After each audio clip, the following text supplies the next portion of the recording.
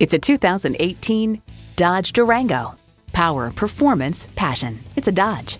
And it comes with all the amenities you need. V6 engine, heated bucket seats, streaming audio, configurable instrument gauges, dual zone climate control, power heated mirrors, external memory control, aluminum wheels, doors and push button start proximity key, and automatic transmission. You need to drive it to believe it. See it for yourself today.